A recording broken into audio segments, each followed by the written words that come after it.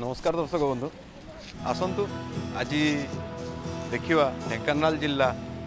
ପାଖରେ ଅବସ୍ଥିତ ଥିବା ଏକ ସୁନ୍ଦର ମନ୍ଦିର କପିଳାସ